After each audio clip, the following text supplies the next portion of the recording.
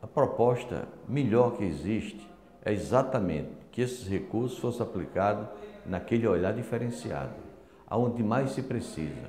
É saneamento básico, é esgotamento sanitário, é medicamento na farmácia básica, é assistência devida àqueles que procuram o serviço de saúde.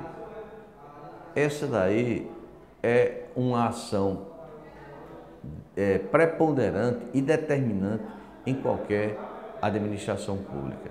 Então, caso isso venha a acontecer, pode ter convicção que vai ser bom para a atual administração e muito melhor para o cidadão.